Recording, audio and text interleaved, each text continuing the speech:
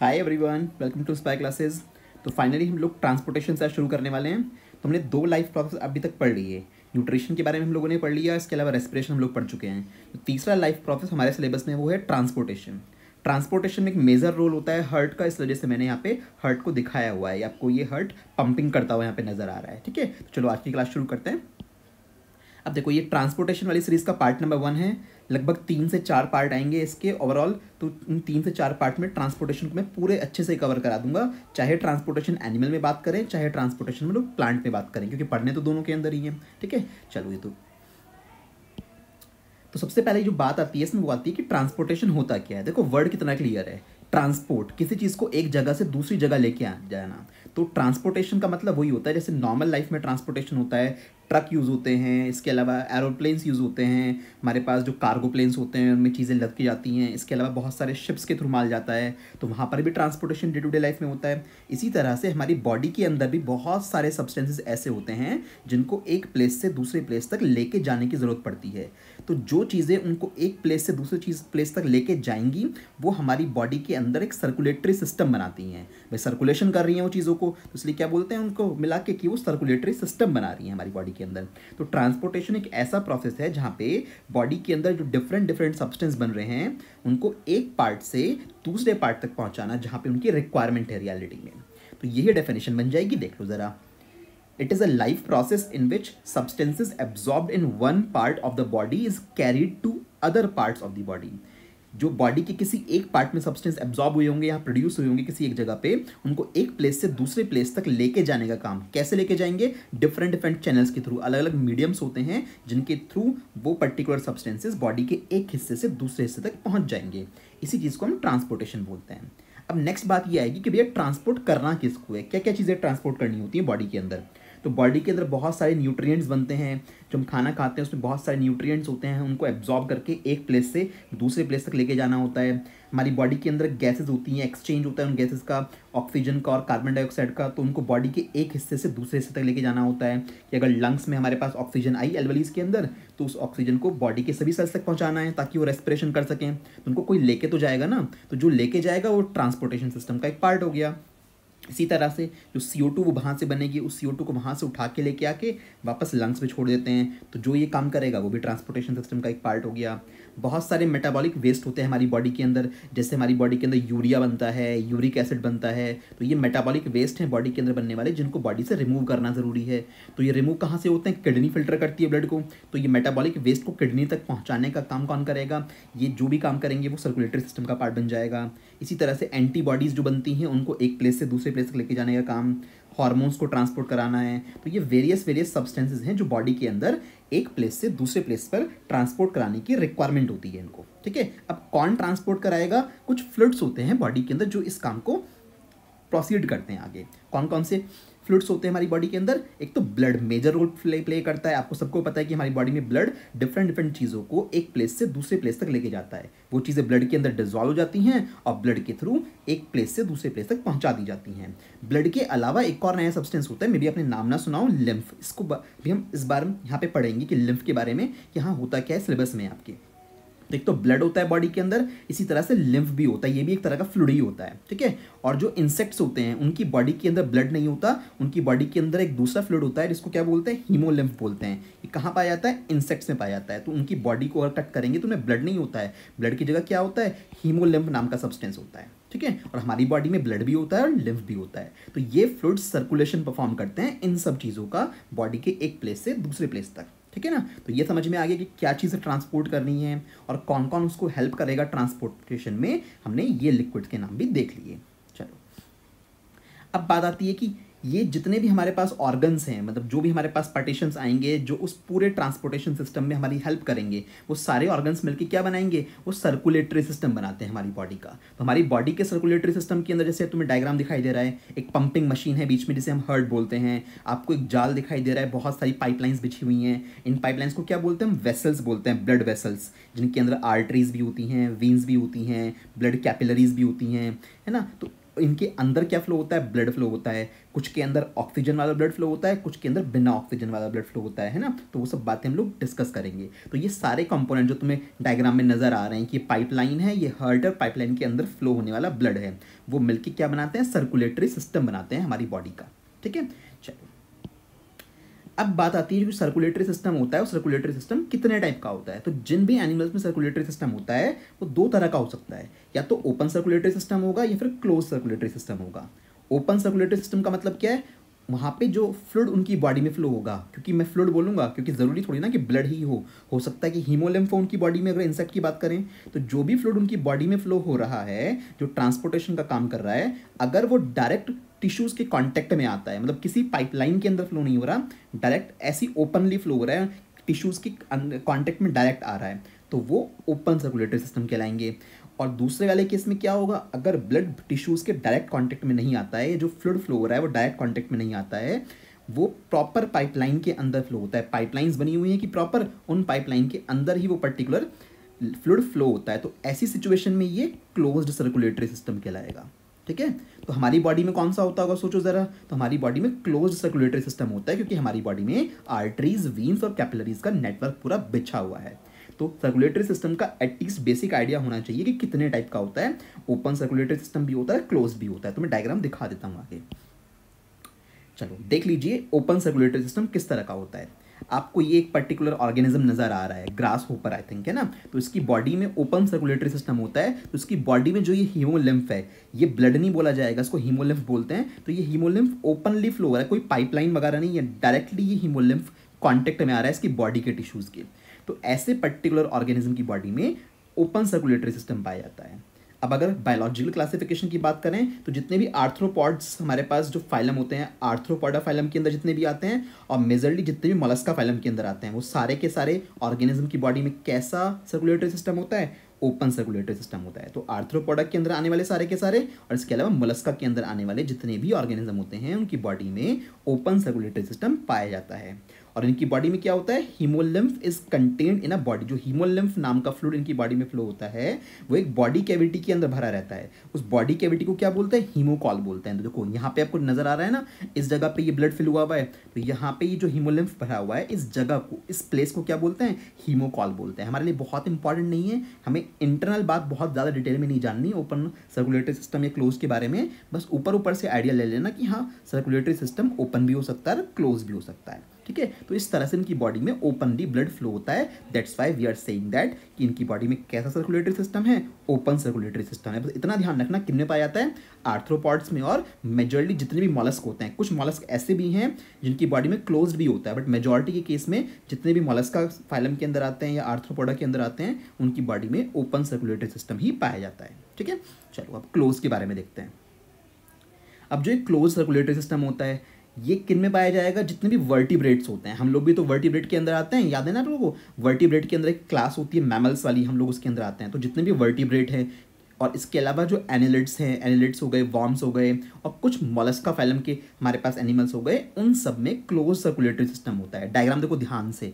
आपको एक इंसेक्ट जैसा कुछ नज़र आ रहा है यहाँ पे। यहाँ पे किस तरह की चीज़ है? इनकी बॉडी के अंदर प्रॉपर पाइपलाइन बनी हुई हैं। और इन पाइपलाइन के बीच में काफ़ी सारे हर्ट्स हैं। इनमें से कुछ इनके मेन हर्ट होते हैं, कुछ ऑक्सिलरी हर्ट्स होते हैं तो ऐसे एक मल्टीपल हर्ट्स भी प्रेजेंट होते हैं, खैर। बट देखो पाइपलाइन है प्रॉपरली ये जो ब्लड है, इन्हीं के अंदर फ्लो हो रहा है। या ब्लड है, या फिर हीमोलिम्फ है, जो भी फ्लूड है, वो इसी के अंदर फ्लो हो रहा है। वो फ्लूड इन टिश्यूज़ के डायरेक्ट कांटेक्ट में नहीं आ रहा। ब्लू वाला रीजन और रेड वाला रीजन बिल्कुल सेपरेट आपको नज़र आ रहा है। समझ में आ रही है ना बात? तो इस तरह से प्रॉपर क्लोज सर्कुलेटरी सिस्टम होता है। तो क्लोज का मतलब जब ब्लड या जो फ्लूड है वो प्रॉपर पाइपलाइन के अंदर फ्लो होता है तो उस केस में क्लोज सर्कुलेटरी सिस्टम होता है। अगर वो डायरेक्टली टिश्यूज के कॉन्टेक्ट में आ रहा है तो वो ओपन सर्कुलेटरी सिस्टम होता है।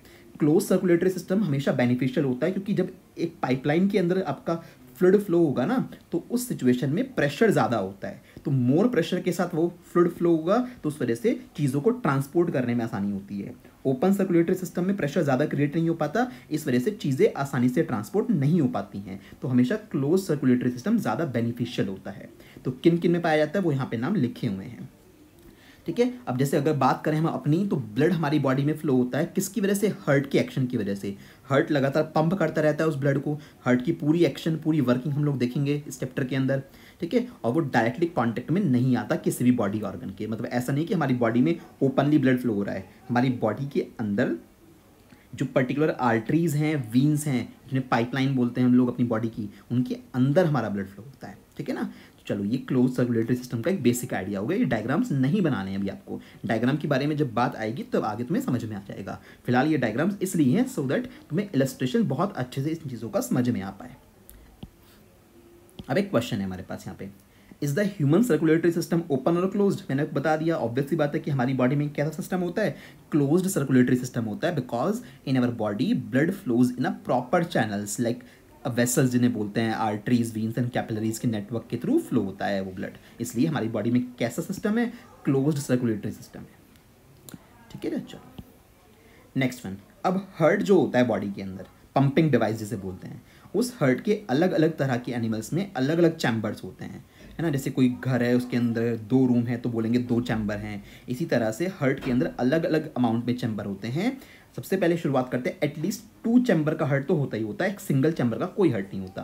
तो अगर हर्ट में दो चैम्बर हैं तो क्या बोलते हैं? Two chambered heart. देखो, जैसे यहाँ पे देखो, यहाँ पे दो चैम्बर है। ऊपर वाले चैम्बर को उन्होंने वेंट्रिकल बोला है, नीचे वाले चैम्बर को उन्होंने एट्रियम बोला है। ऐसे नाम आप बहुत अच्छे से पढ़ोगे जब ह्यूमन हर्ट के बारे में आपको पढ़ाऊँगा।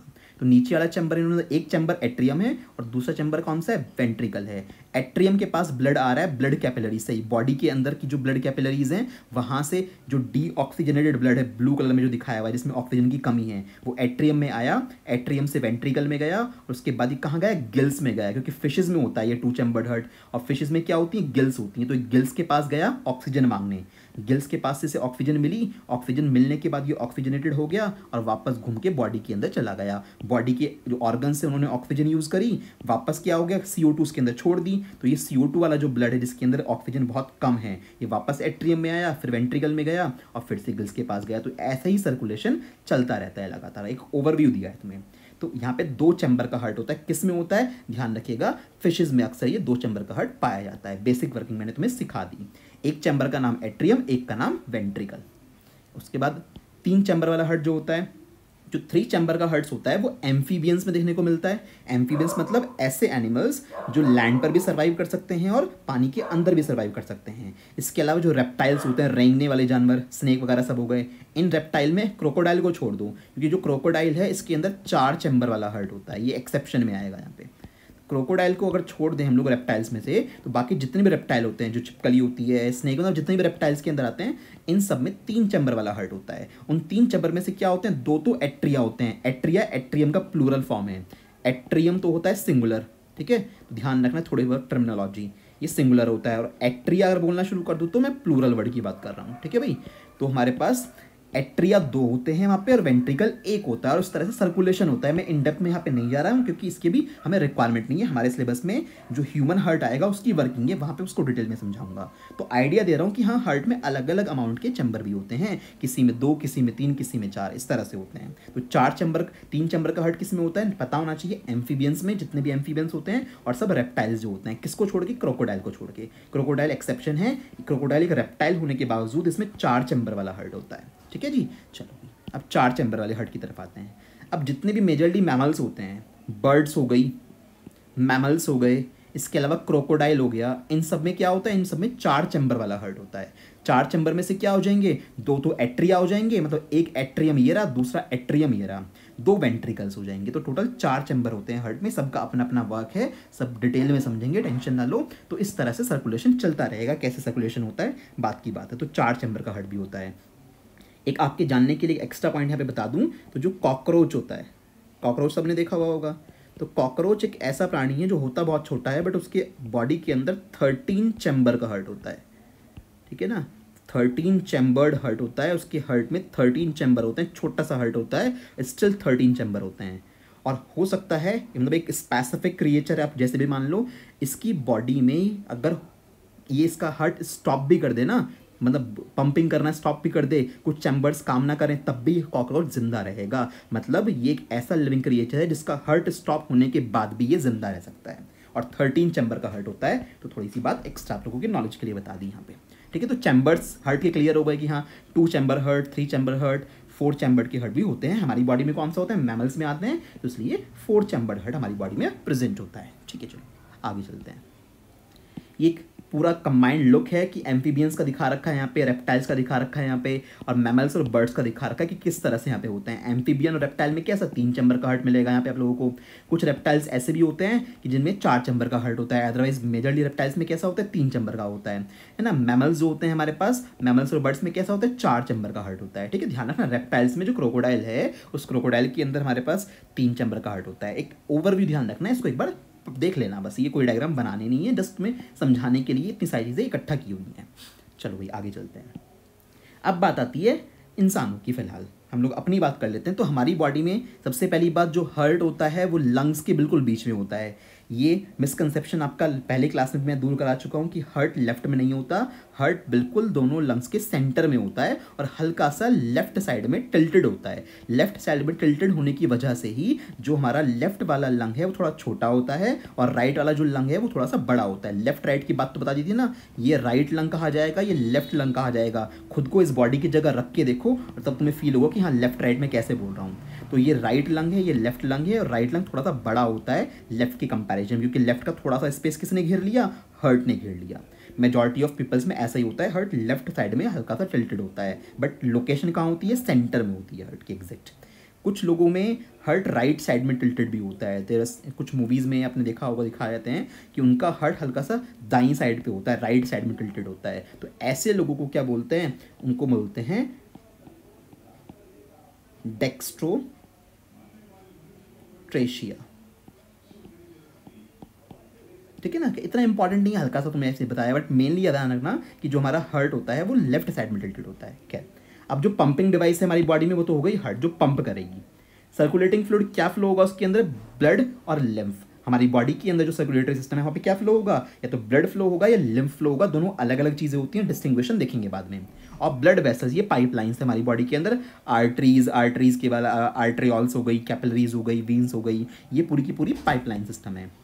इसको कंपेयर कर सकते हो, घर के अंदर जो होती है मोटर घर के अंदर जो मोटर होगी, वो पंपिंग डिवाइस हो गई हर्ट की तरह काम कर रही है। घर में पानी के लिए पाइपलाइन बिछी हुई होती हैं तो पाइपलाइन क्या हो गई? ब्लड वेसल्स हो गई। उनके अंदर घर में पानी बहता है बॉडी के अंदर क्या बहता है? फ्लूड बहता है ब्लड या लिम्फ नाम से। बिल्कुल घर के अंदर जो मोटर वाला सिस्टम होता है उसी से हम इसको कंपेयर कर सकते हैं पूरा का पूरा। तो यहाँ से इसको हम नोट करोगे इंपॉर्टेंट है ये सेक्शन ठीक है? डायग्राम अभी बनाने की ज़रूरत नहीं है। हर्ट का डायग्राम बनाना है बाद में जब आएगा फ़िलहाल डायग्राम की रिक्वायरमेंट नहीं है इस सेटअप को नोट कर लेना। चलिए भाई अब कंपोनेंट्स की बात जब करें, वापस पीछे एक बार आते हैं तो हम लोग सर्कुलेटिंग फ्लूड से शुरू करेंगे। सबसे पहले आज की क्लास में ब्लड और लिम्फ को कवर अप करेंगे, ठीक है ना? उसके बाद हम अपनी ब्लड वेसल्स को कवर करेंगे। जब ये हम ब्लड लिम्फ पढ़ लेंगे ब्लड वेसल्स पढ़ लेंगे, उसके बाद जाके तुम्हें हार्ट की स्ट्रक्चर समझाई जाएगी। हार्ट की पंपिंग प्रोसेस समझाया जाएगा। वहीं पर जाके तुम हार्ट बीट के बारे में ब्लड प्रेशर के बारे में सब कुछ वहाँ पर पढ़ोगे। तो सबसे पहले शुरू करते हैं सर्कुलेटिंग फ्लूड्स जो होते हैं हमारी बॉडी में। सबसे डिटेल में कौन सा पढ़ेंगे? हम लोग ब्लड के बारे में पढ़ने वाले हैं। आप देखो ब्लड ब्लड कैसे कलर का होता है? ऑब्वियसली बात है इंसानों में रेड कलर का ब्लड होता है। लाल रंग का क्यों होता है? रीज़न सबको पता है। हीमोग्लोबिन की प्रेजेंस की वजह से। तो ब्लड की अगर हम लोग बात करें ब्लड की एक छोटी सी ड्रॉपलेट तुम्हें दिखाई हुई है। लाल रंग का फ्लूड होता है ब्लड क्यों? लाल रंग किस वजह से? एक रेड कलर का पिगमेंट होता है। बहुत इंपॉर्टेंट है। इसको क्या बोलते हैं? हीमोग्लोबिन बोलते हैं। इसके बारे में आप लोगों को बताया था मैंने जब रेस्पिरेशन पढ़ाया था तब भी। तो हीमोग्लोबिन प्रेजेंट होता है हमारे ब्लड के अंदर। इस वजह से हमारे ब्लड का कलर क्या होता है? रेड होता है। अब ब्लड के अंदर चार मेजर कंपोनेंट्स होते हैं हमारे। टोटल चार चीज़ों से मिलकर हमारा ब्लड बना हुआ है। पहला होता है प्लाज्मा जो हमारे ब्लड के अंदर लिक्विड पोर्शन है, कि अगर आपके कहीं से हाथ कट जाए तो जो ब्लड निकलता है, वो लिक्विफाई होता है ना तो लिक्विड पोर्शन जो भी है ब्लड के अंदर, वो प्लाज्मा होता है। उसी प्लाज्मा के अंदर क्या चीज़ें डिजॉल्व रहती हैं अलग से? रेड ब्लड सेल्स भी रहती हैं वाइट ब्लड सेल्स भी होती हैं, और प्लेटलेट्स भी होती हैं। रेड ब्लड सेल्स को क्या बोलते हैं? आर बोलते हैं। रेड ब्लड सेल्स तो एस शॉर्ट में बनाएँगे। वाइट ब्लड सेल्स को क्या बोलते हैं? डब्ल्यू बोलते हैं। प्लेटलेट्स हमारी प्लेटलेट्स ही होती हैं। तो ये टोटल चार चीज़ों से मिलकर हमारा ब्लड बना हुआ होता है। चारों को एक एक करके समझ लेते हैं। इंपॉर्टेंट है। यहाँ से सारी स्लाइड बहुत इंपॉर्टेंट है। सबको नोट करते रहना। ठीक है? नेक्स्ट में आते हैं। अब देखो, ये ब्लड ऐसा होता है दिखने में। अगर बॉडी से बाहर निकलेगा या आप सरिंज में अगर ब्लड को भर लोगे तो इस तरह का होता है। यस उसका सेंट्रिफिकेशन करने के बाद नाइन्थ में एक प्रोसेस होता है ना सेंट्रिफिकेशन चीज़ों को टेस्ट ट्यूब में भर के रोटेट किया जाता है एक मशीन में तो सेंट्रिफिकेशन करने के बाद ब्लड के कंपोनेंट्स अलग अलग हो जाते हैं, उनकी डेंसिटी के अकॉर्डिंग अब देखो, होता क्या बहुत ध्यान से समझना। हमारे ब्लड में 55 परसेंट तो पूरे ब्लड का प्लाज्मा ही होता है, जो आपको ऐसे येल्लोइश से कलर का दिख रहा है लाइट येल्लो कलर का दिख रहा है, इसको क्या बोलते हैं? स्ट्रॉ कलर बोलते हैं, भूसे जैसा कलर तो ये लाइट येलोइश कलर में होता है प्लाज्मा पूरे ब्लड का 55 परसेंट हिस्सा तो प्लाज्मा ही होता है। ओके इसके बाद बात आती है एरिथ्रोसाइट से भी। एरिथ्रोसाइट्स क्या है? ये आरबीसी का ही टेक्निकल नेम है। तो रेड ब्लड सेल्स को बायोलॉजिकली एरिथ्रोसाइट बोलते हैं। आपको रिपोर्ट में एरिथ्रोसाइट ही लिखा हुआ मिलेगा। ये 45 परसेंट से थोड़ी सी कम होती हैं, है ना? लगभग मान के चलो ऐसी 44.2 परसेंट या 44.3 परसेंट इसके आसपास होती हैं हमारे पास, हमारे ब्लड के अंदर एरिथ्रोसाइट्स यानी रेड ब्लड सेल्स अब सोचो 55 परसेंट तो ये हो गया 44.2 या 44.3 अप्रॉक्सीमेट डेटा ये हो गया। लगभग मुश्किल से बचा हमारे पास पॉइंट एट परसेंट या पॉइंट सेवन परसेंट के आसपास का डेटा तो ये पॉइंट एट और पॉइंट सेवन परसेंट हिस्से में हमारी बॉडी के अंदर क्या होती है? देखो व्हाइट कलर की एक पट्टी दिखाई दे रही होगी तुम्हें। तो उसी के अंदर बच्ची कुछ ल्यूकोसाइड्स और प्लेटलेट्स होती हैं। यानी ल्यूकोसाइड्स बोलते हैं व्हाइट ब्लड सेल्स को। तो यानी हुआ क्या ओवरऑल हमारे पास कि पूरे ब्लड का सेंट्रिफिकेशन किया सेंट्रिफिकेशन करने के बाद पता लगा कि हमारे ब्लड में 55 परसेंट तो प्लाज्मा होता है 45 परसेंट से थोड़ा सा कम अप्रॉक्सीमेट 44.2 परसेंट के आसपास एरेथ्रोसाइट्स यानी रेड ब्लड सेल्स होती हैं, और बाकी का जो point seven point eight percent बचा, उसमें वाइट ब्लड सेल्स और प्लेटलेट्स मिला के होती हैं। यानी इनकी काउंटिंग प्लेटलेट्स की और वाइट ब्लड सेल्स की, जिनको हम ल्यूकोसाइट्स भी बोलते हैं डब्ल्यूबीसी को क्या बोलते हैं? ल्यूकोसाइट्स इनकी काउंटिंग सबसे कम होती है। है ना? और ये मोर देन इनफ है। गॉड ने इस तरह से डिज़ाइन किया ब्लड को कि ये कॉन्फिग्रेशन अपने आप में सफिशियंट होता है। कोई इशू नहीं है यहाँ पे। ठीक है? तो ब्लड का ये प्लाज्मा होता है। जैसे कई बार आप लोगों ने सुना होगा प्लाज्मा थेरेपी के बारे में बोलते हैं कि प्लाज्मा थेरेपी है क्योंकि इस प्लाज्मा के अंदर बहुत सारी तरह की प्रोटीन पाई जाती हैं। तो ये प्लाज्मा समटाइम्स किसी दूसरे की जान बचाने में भी काम आ जाता है। खैर, अब ज़्यादा बायोलॉजिकल बात पर नहीं जाएँगे। अपने सिलेबस पे कंसनट्रेट करके उसी की तरफ़ रहने वाले हैं हम लोग। तो ये बड़ा अच्छा डायग्राम है जो आपको काफ़ी कुछ सिखा देता है। चलिए। एक ही कंपोनेंट पढ़ते हैं, सारे के सारे ब्लड पढ़ रहे हैं ब्लड के कंपोनेंट पढ़ा रहा हूँ तुम्हें प्लाज्मा प्लाज्मा क्या लिक्विड पार्ट होता है हमारे ब्लड का? स्ट्रॉ कलर का होता है। इस प्लाज्मा के अंदर है क्या? भाई पूरे ब्लड का 55 परसेंट हिस्सा प्लाज्मा है। प्लाज्मा निकाल लिया अलग। अब जितना भी प्लाज्मा हमारे पास आया, उस प्लाज्मा के अंदर 90 परसेंट तो पानी ही होता है। तभी तो बोलते हैं कि हमारा बॉडी पानी से मिलकर बना हुआ है। मतलब आपकी बॉडी में जो खून, जो ब्लड फ्लो हो रहा है, उसके अंदर मेजोरिटी में तो वाटर ही है। तो 90 परसेंट हिस्सा प्लाज्मा का क्या है? वाटर है। और टेन परसेंट पार्ट में प्लाज्मा के अंदर बहुत कुछ घुला हुआ होता है। मेजोरिटी में प्रोटीन्स होते हैं। आपको बता दो, सबसे ज़्यादा प्रोटीन्स होती हैं हमारी प्लाज्मा के अंदर डिजॉल्व हुई हुई कौन कौन सी होती हैं, उसको भी देखूँगा। आगे। बहुत सारी गैसेस रिजॉल्व होती हैं, कुछ मिनरल सॉल्ट्स होते हैं एंजाइम्स होते हैं हार्मोन्स होते हैं मतलब lot of things are dissolve तो टेन परसेंट हिस्सा इन सब चीज़ों से मिलकर बना हुआ होता है। बाकी नाइन्टी परसेंट क्या होता है प्लाज्मा में? पानी होता है स्ट्रॉ जैसे कलर का होता है येलोइश से कलर का, आपको दिखा दिया मैंने पहले। तो ये प्लाज्मा की बात हो गई। इसमें प्लाज्मा में प्रोटीन कौन कौन सी होती है? इंपॉर्टेंट प्रोटीन है, ज़रा देख लो। मेजॉरिटी में अगर बात करूँ तो प्लाज्मा में तीन तरह की प्रोटीन्स होती हैं। एक होती है एल्बुमिन एक होती है ग्लोब्यूलिन एक होती है फिब्रिनोजन क्या क्या काम करती हैं? जो ये फिब्रोनोजन वाली प्रोटीन है। ये हेल्प करेगी ब्लड क्लॉटिंग में। आगे जाके पढ़ोगे, जब ब्लड क्लॉट होता है, अगर कहीं से बाहर चोट लग जाए, खून बहने लगे तो ब्लड क्लॉट करने में फिब्रिनोजन प्रोटीन ही मेजर रोल कंट्रीब्यूट करती हैं। तो उसने लिखा हुआ है कि ब्लड क्लॉटिंग में हेल्प करेंगी। इसके बाद आती है बात एल्बुमिन की और ग्लोबुलिन की। तो ये एल्बुमिन और ग्लोबुलिन प्रोटीन मिलकर क्या करती हैं? ये ट्रांसपोर्ट करने का काम करती हैं सब्सटेंसेस को, बहुत सारे फैटी एफिड्स को ट्रांसपोर्ट करती हैं विटामिन और हार्मोन्स को ट्रांसपोर्ट करती हैं, इसके अलावा बॉडी के अंदर ऑस्मोटिक बैलेंस मेंटेन करती हैं, ताकि आयन्स की कंसेंट्रेशन बॉडी के अंदर बनी रहे, ठीक है? अब इसमें एक इंपॉर्टेंट चीज़ और बताऊँ तुम्हें कि जो यहाँ पे ग्लोबुलिन प्रोटीन है, ये ग्लोबुलिन प्रोटीन का एक मेजर वर्क और होता है, जो आयरन होता है ना हमारी बॉडी के अंदर, उस आयरन के साथ ये ग्लोबुलिन प्रोटीन एक ऊपर से ओवरव्यू बता रहा हूँ, ये ग्लोबुलिन प्रोटीन मिलके क्या बनाती है? हीमोग्लोबिन बनाती है। तो ये हीमोग्लोबिन बनाने में भी हेल्प करती है। देखो, हीमोग्लोबिन के अंदर हीमो वर्ड आ रहा है। हीमो आयरन का ही दूसरा नाम होता है। तो हीमो और ग्लोबुलिन से क्या आया ग्लोबिन तो हीमोग्लोबिन नाम का जो पिगमेंट हमारी बॉडी के अंदर बनता है, वो कैसे बनता है? बॉडी के अंदर जो आयरन के मॉलिक्यूल्स हैं, उनका ग्लोबुलेंस के साथ ज्वाइन हो जाता है और फाइनली क्या बन जाता है? हीमोग्लोबिन बन जाता है। कुछ इस तरह का प्रोसेस होता है। इसलिए अगर बॉडी में हीमोग्लोबिन की कमी होती है ना कभी हमारे पास तो क्या बोलते हैं कि भैया उस पर्सन को एनीमिया हो गया है। तो हीमोग्लोबिन की कमी क्या कहलाती है? एनीमिया कहलाती है। और एनीमिया का मतलब क्या होता है कि आयरन की कमी, की एफ़ जो है हमारे पास घट गया है। क्यों? क्योंकि अगर आयरन नहीं होगा कम, आयरन काफ़ी कम अमाउंट में है तो ग्लोबुलिन भी ऑब्वियस सी बात है, क्या करेगा? जब आयरन ही नहीं है तो ग्लोबुलिन अटैच किसके साथ होगा? तो ग्लोबुलिन अटैच नहीं होगा तो हीमोग्लोबिन नहीं बन पाएगा। तो मतलब हीमोग्लोबिन की कमी मतलब इनडायरेक्टली क्या बोल सकते हैं? आयरन की कमी बॉडी में। तो इसलिए हीमोग्लोबिन की कमी कहलाती है एनीमिया जिसे आयरन डेफिशिएंसी डिज़ीज़ भी बोला जाता है। ठीक तो ये ऊपर से ओवरव्यू हो गया प्लाज्मा का। इसमें एक इंपॉर्टेंट चीज़ यहाँ पे है, देख लेना ध्यान से हिपैरिन के बारे में लिखा हुआ है केमिकल होता है हिपैरिन हिपैरिन देखो, सोचो, आपने कभी देखा होगा कि बॉडी के बाहर अगर आप ब्लड की एक ड्रॉपलेट टपका दो, कहीं पे गिरा दो, थोड़ी देर के अंदर अंदर ही वो सूख जाती है एकदम से. बट जब बॉडी के अंदर ब्लड फ्लो हो रहा है, वो तो नहीं सूखता लगातार। तो उसका मतलब बॉडी के अंदर ब्लड जब फ्लो होता है तो बॉडी के अंदर कोई ऐसा केमिकल रिलीज़ होता है, जो उस ब्लड को को नहीं होने देता, यानी जमने नहीं देता। तो हिपैरिन नाम का केमिकल होता है। तो हिपैरिन क्या है? Heparin is an anticoagulating agent present in our blood तो ये हमारे ब्लड में प्रेजेंट एक एंटी कोएगुलेटिंग एजेंट होता है and it prevents the coagulation of blood inside the body और बॉडी के अंदर क्या करता है? ब्लड को कोएगुलेट होने से बचाता है। हिपेरिन बनता कहाँ पे? हिपेरिन लिवर के अंदर बनता है हमारी बॉडी में। कहाँ पे बनता है? लिवर में हमारा हिपेरिन बनता है। तो हिपैरिन नाम का केमिकल एक एक्स्ट्रा नॉलेज के लिए ध्यान रखना बॉडी के अंदर ब्लड को जमने से बचा रहा है। बस ये बात है यहाँ पे।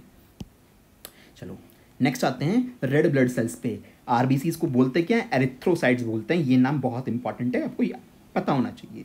ऐसी होती है बिल्कुल दिखने में आरबीसी बीच में से पिचकी हुई हैं। बाइकॉन्वेक्स शेप बोलते हैं। ठीक है ना? तो इस तरह की जो शेप होती है, ये हमारे पास आरबीसी की शेप होती है। इन आरबीसी की खास बात है, ये ऐसी सेल्स हैं बॉडी की जिनके अंदर न्यूक्लियस नहीं होता। तो जब नाइन्थ क्लास में चीज़ें पढ़ाई जाती हैं तो वहाँ पर एक्सेप्शन होता है कि हाँ जो भी हमारे पास यूकैरियोटिक सेल होती है, उनमें न्यूक्लियस होता है एक्सेप्ट आरबीसी की। आरबीसी एक यूकैरियोटिक सेल होने के बावजूद न्यूक्लियस कंटेन नहीं करती है। इनमें न्यूक्लियस नहीं होता मेच्योरिटी जब आती है इनमें तो ये हीमोग्लोबिन को कंटेन करने लगती हैं और न्यूक्लियस को लॉस कर देती हैं। खैर, इतना कोई दिक्कत नहीं है। कहाँ बनती है? बहुत ज़रूरी है।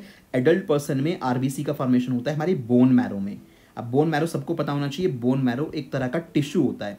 बोन मैरो एक तरह का टिश्यू होता है। कहाँ प्रेजेंट होता है? हमारी हड्डियों के अंदर प्रेजेंट होता है। हमारी बोन्स के अंदर प्रेजेंट होता है बोन मैरो इंटरनली ठीक है? तो बोन मैरो एक टिश्यू होता है। तो आरबीसी कहाँ बनती है? बल्कि आरबीसी क्या? W B C platelets majority में सारी बोन मैरो के अंदर ही बनती हैं। बोन मैरो भी दो तरह की होती है रेड बोन मैरो होती है येलो बोन मैरो होती है। उस डिस्कशन में नहीं जाना है, बस नाम देख लेना। जो इन्फेंट होते हैं, जो छोटे बच्चे होते हैं, एक दो साल तक का बच्चा होता है, उसकी बॉडी में जो बोन मैरो है, वो पूरी तरह से डेवलप नहीं हो पाती है। तो इसलिए शुरुआत में बचपन में बॉडी में आरबीसीज का बनती हैं? लिवर के अंदर बनती हैं। तो इसलिए लिवर का तो बहुत इंपॉर्टेंट काम है। लिवर बहुत सारे फ़ंक्शंस परफॉर्म करता है। अगर लिवर में कुछ गड़बड़ हो जाए तो बहुत कुछ नुकसान झेलना पड़ता है बंदे को। तो आरबीसीज का फॉर्मेशन एडल्ट में बोन मैरो में होता है, बचपन में लिवर में बनती हैं वो। आरबीसीज का जो रेड कलर है, वो क्यों लाल रंग की होती है? हीमोग्लोबिन की प्रेजेंस की वजह से उनका रंग लाल होता है। काउंटिंग की बात करते हैं तो थोड़ा फ़र्क है मेल और फीमेल पर्सन में। थोड़ा सा लोकेलिटी का भी फ़र्क होता है कि कौन सा बंदा कहाँ पे रहता है। ये एग्जैक्ट काउंटिंग नहीं है अप्रॉक्सीमेट डेटा है जो मेजोरिटी ऑफ़ पीपल में पाया जाता है। इन R B Cs W B Cs या प्लेटेट का काउंट इस बात पे भी डिपेंड करता है कि वो पर्टिकुलर ऑर्गेनिज्म या पर्टिकुलर एनिमल कहाँ का रहने वाला है। क्योंकि आसपास के टेम्परेचर से एनवायरमेंटल टेम्परेचर से एल्टीट्यूड से कि आप बहुत ऊंचाई पे रहते हो क्या, उससे फ़र्क पड़ता है इस काउंट पे काफ़ी ज़्यादा। तो हल्का सा ये याद नहीं करना है, बस एक जस्ट देखने के लिए कि हाँ अप्रॉक्सीमेट कितनी होती हैं? लगभग लगभग बात करूँ तो साढ़े चार मिलियन से लेकर छः मिलियन के आसपास तक कितने में? पर माइक्रोलीटर ब्लड माइक्रोलीटर का मतलब एक लीटर का माइक्रो मतलब क्या होता है? टेन की पावर माइनस सिक्स होता है तो एक लीटर का कितना? दस लाखवा पार्ट माइक्रो मतलब एक लीटर का दस लाखवा पार्ट तो एक माइक्रो लीटर ब्लड के अंदर मेल पर्सन में लगभग साढ़े चार लाख से लेकर छः लाख के लाख नहीं बोला जाएगा, बल्कि मिलियन बोला जाएगा। साढ़े चार मिलियन से लेकर छः मिलियन के आसपास रेड ब्लड सेल्स होती हैं। Millions of red blood cells daily बनती हैं आपकी बॉडी के अंदर ही ध्यान रखना। ठीक है? क्योंकि पुराने वाली क्या होती रहती है? डिस्ट्रॉय होती रहती हैं, इसलिए नई red blood cells bone marrow में प्रोड्यूस होती रहती हैं। क्या काम करती हैं आरबीसीज देखेंगे इसको आगे। फीमेल बॉडी के अंदर काउंट लगभग इतना होता है। तो काउंट इतना इंपॉर्टेंट नहीं है जस्ट हैव अ लुक कि अप्रॉक्सीमेट इतनी आरबीसीज होती हैं। ये कम ज़्यादा हो सकती है depending upon the location and altitude ठीक है? और बात आरबीसी का लाइफ स्पैन ये इंपॉर्टेंट है। चार महीने के आसपास आरबीसी ज़िंदा रहती हैं, लगभग यानी 120 दिन के आसपास। तो 120 डेज़ के आसपास मैक्सिमम ज़िंदा रह सकती हैं। उसके बाद आरबीसी डिस्ट्रॉय होनी शुरू हो जाती हैं, क्योंकि एक आरबीसी का एक पर्टिकुलर लाइफ स्पैन है। उसके बाद वो सेल काम करने लायक नहीं रहता है। नए आरबीसी नए रेड ब्लड सेल्स बनने ज़रूरी होते हैं। ठीक है जी? इसके बाद एक हार्मोन का नाम है इंपॉर्टेंट है एरिथ्रोपाइटिन हार्मोन। ईपीओ बोलते हैं एरिथ्रोपाइटिन नाम का ये हार्मोन है। कभी कभी क्या होता है कि जब बॉडी के अंदर ऑक्सीजन की कमी होती है, देखो स्टार्ट में समझो ऑक्सीजन की कमी है बॉडी के अंदर काफ़ी ज़्यादा। तो उस सिचुएशन में हमारी किडनी के अंदर एक एरिथ्रोपाइटिन नाम का हार्मोन बनता है। कहाँ बनता है? किडनी के अंदर बनता है। और ये किडनी जैसे इस हार्मोन को बनाएँगी तो ये हार्मोन क्या करता है? ये बोन मैरो को इंस्ट्रक्ट करता है बोन मैरो को स्टिमुलेट करता है कि भैया आप आरबीसीज प्रोड्यूस कीजिए। बॉडी को रेड ब्लड सेल्स की रिक्वायरमेंट है। क्यों? रेड ब्लड सेल्स के अंदर क्या होता है? हीमोग्लोबिन होता है। हीमोग्लोबिन ही तो ऑक्सीजन को लेके जाता है, याद करो। तो ऑक्सीजन की डिमांड अगर पूरी करवानी है तो हीमोग्लोबिन बनवाना पड़ेगा। हीमोग्लोबिन बनवाना है तो हमें आरबीसी चाहिए होंगी। और आरबीसी को कौन स्टिमुलेट करेगा? एरिथ्रोपाइटिन नाम का केमिकल किडनी के अंदर बनता है और ये स्टिमुलेट करता है, ये कहता है बॉन मैरो को कि भैया अपनी रेड ब्लड सेल्स को बनाना शुरू करो। और जब रेड ब्लड सेल्स बनेंगी तो भैया ऑक्सीजन की जो डिमांड है वो पूरी हो जाएगी, उसमें फिर कोई इशू नहीं रहेगा। आरबीसी का मेन काम क्या होता है? वही आरबीसी के अंदर क्या होता है? हीमोग्लोबिन होता है, कई सारे अमीनो एसिड्स भी होते हैं तो यहाँ पे मिला के वो ऑक्सीजन को और कार्बन डाइऑक्साइड को ट्रांसपोर्ट कराने का काम करती हैं। मेजोरिटी में आपको पता है हीमोग्लोबिन तो ऑक्सीजन ट्रांसपोर्ट करेगा और ट्वेंटी परसेंट सी भी ट्रांसपोर्ट करता है अमीनो एसिड के कहने पर मेजोरिटी में सी नहीं तो कैसे आती है? बॉडी के अंदर डिजॉल्व होकर प्लाज्मा के अंदर घुल के आती है ब्लड प्लाज्मा के अंदर। ये बात आपको समझा दी थी पहले के लेक्चर्स में। तो ये छोटी सी बात हो गई आरबीसी के लाइफ स्पेन के बारे में लगभग सबसे ज़्यादा ज़िंदा रहती हैं। आरबीसी डब्ल्यूबीसी प्लेटलेट में से सबसे ज़्यादा टाइम तक ज़िंदा रहने वाली सेल्स यही होती हैं। अप्रॉक्सीमेट 120 दिन के आसपास इनका लाइफ स्पैन होता है। उसके बाद ये डेड हो जाती हैं, इसलिए डेली बेसिस पे नई नई आरबीसी बनती रहती हैं बॉडी के अंदर। इससे बॉडी के अंदर ऑक्सीजन की डिमांड जो है उसको फुलफिल किया जा सके। ठीक है भाई? अब बात आती है इस आरबीसी के अंदर ही हमारे पास एक रेड कलर का पिगमेंट होता है, इसको क्या बोलते हैं? हीमोग्लोबिन बोलते हैं। तो ये हीमोग्लोबिन आरबीसी के अंदर प्रेजेंट होता है। ये हीमोग्लोबिन का तुम्हें मॉलिक्यूल दिखाई दे रहा है यहाँ पे। एक हीमोग्लोबिन चार आयरन सॉरी चार ऑक्सीजन पार्टिकल्स को बैठा सकता है अपने ऊपर। तो ये हीमोग्लोबिन की गाड़ी है। ये चार, देखो ग्रीन ग्रीन कलर के तुम्हें क्या दिख रहे हैं? सपोज़ ये हीमोग्रुप दिखाई दे रहे हैं। आयरन के मॉलिक्यूल्स हैं ये। तो ये पूरा का पूरा हीमोग्लोबिन की स्ट्रक्चर है और ये हीमोग्लोबिन अपने ऊपर चार ऑक्सीजन मॉलिक्यूल को बैठा सकता है एक बार में। एक कॉम्प्लेक्स प्रोटीन होती है एक तरह की, चार प्रोटीन स्टैंड होते हैं वो सब हमें कुछ नहीं पढ़ना है इतना ज़्यादा टेंशन नहीं लेनी है। Each haemoglobin molecule can carry four oxygen atoms ठीक है? और the presence of oxygen turns haemoglobin bright red अब जैसे ही उस हीमोग्लोबिन के साथ आपके ऑक्सीजन मिल जाती है तो एकदम से ब्लड का कलर कैसा हो जाता है? लाल रंग का हो जाता है फाइनली तो हीमोग्लोबिन जैसे ही ऑक्सीजन से अटैच होगा तो अपना वो कलर प्रोड्यूस करना शुरू कर देता है और फाइनली ब्लड का कलर कैसा हो जाता है? लाल रंग का हो जाता है. अगर ब्लड के अंदर ऑक्सीजन की कमी है तो हीमोग्लोबिन होने के बावजूद भी वो लाल रंग का नहीं दिखाई दे पाएगा, क्योंकि हीमोग्लोबिन तभी एक्टिवेट होगा जब उसके साथ क्या आएगा? मान लीजिए हीमोग्लोबिन है, इसके साथ जब जाके ऑक्सीजन अटैच होगी ना, तभी रेड कलर नज़र आएगा, तुम्हें अदरवाइज़ रेड कलर नज़र नहीं आता है. तो बेसिक बात हीमोग्लोबिन की तुम्हें यहाँ समझ में आ गई होगी. अभी तक डायग्राम कोई ऐसा नहीं आया जो आपको बनाना पड़े। ये सब चीज़ें आप लोगों को थियोरेटिकल लिख लेना। ये डायग्राम नहीं बनाने हुई आरबीसी वगैरह के। यहाँ पे आरबीसी का जो लाइफ स्पैन होता है, इसको लिखने के बजाय ये वाला चार्ट बनाना चाहो तो ये आपकी मर्ज़ी है। ये लिखना बेटर समझो तो इसको लिख लेना। अदरवाइज़ ये चार्ट बना लेना, आपको लाइफ स्पैन समझ में आ जाएगा और कैसे इसका प्रोडक्शन स्टिमुलेट होता है बॉडी के अंदर, ये भी समझ में आ जाएगा। हीमोग्लोबिन का डायग्राम नहीं बनाना है जस्ट अ लुक क्या हीमोग्लोबिन के बारे में क्या क्या बातें आपको समझाई गई हैं, जो वीडियो में बोला जाता है, उस बात को सुनने पर ज़्यादा ध्यान दिया कीजिए। ठीक है? चलो भाई। अब इसके बाद एक इंपॉर्टेंट क्वेश्चन है आपके जनरल नॉलेज के लिए, होता क्या है कि जो एरिथ्रोपाइटिन है, ये एज अ ड्रग भी यूज़ कर लेते हैं। काफ़ी एथलीट अपनी बॉडी में इसको इंजेक्ट करते हैं बाहर से और ये एक इलीगल ड्रग है। जितने भी हमारे पास गेम्स होते हैं ओलंपिक हों कॉमनवेल्थ हों तो उन गेम्स में इसकी टेस्टिंग होती है। काफ़ी बार एथलीट्स को इस पर्टिकुलर ड्रग्स को लेते हुए देखा गया है उनको फिर पर्टिकुलरली उस गेम से बाहर कर दिया जाता है बैन कर दिया जाता है। तो क्यों लेते हैं? यहाँ पे ये पूछा गया कि भैया ये हार्मोन क्या करता है? क्यों एरिथ्रोपाइटिन के इंजेक्शन से वो लोग लेते हैं? आपको अच्छे से पता है कि एरिथ्रोपाइटिन क्या करेगा बॉडी के अंदर जाके? एरिथ्रोपाइटिन किडनी के अंदर बनने वाला हार्मोन है। और ये बॉडी के अंदर बोन मैरो को स्टिमुलेट करता है कि भैया आप आरबीसीज प्रोड्यूस करो। अगर ज़्यादा आरबीसी प्रोड्यूस होंगी तो उस केस में क्या होगा हमारी बॉडी के अंदर? कि हीमोग्लोबिन लेवल बना रहेगा अच्छा खासा और हमारी बॉडी के अंदर ऑक्सीजन की भरपूर सप्लाई रहेगी और वो एथलीट खुद को एनर्जेटिक फील करेगा कि हाँ मेरे अंदर ज़्यादा एनर्जी आ गई है। बट ये तो एक गलत तरीका है ना चीज़ों को। भाई, चीज़ों को अगर जीतना है, आपको किसी पर्टिकुलर स्पोर्ट में जीतना है तो आपको ईमानदारी से जीतना चाहिए ऑनेस्टी दिखानी चाहिए। तो इस वजह से ये जो ड्रग है, ये बैन होता है और ज़्यादा अमाउंट में अगर बॉडी में ले लिया जाए तो उस सिचुएशन में इससे पर्सन की डेथ भी हो सकती है हार्मफुल होता है। तो ये आंसर यहाँ पे मैंने आपको समझा दिया पूरा का पूरा। ठीक है तो इसलिए एरिथ्रोपोइटिन एक इलीगल ड्रग में आता है। ये ऑटोमेटिकली हमारी बॉडी प्रोड्यूस करती है, ज़रूरत होती है। बट बाहर से इसको ले रहे हो, भैया वो आप अपनी जान को खतरे में डाल रहे हो और उससे आपको ओलंपिक से या किसी भी गेम से बैन भी किया जा सकता है और ऐसा काफ़ी बार हुआ भी है। ठीक है? चलो।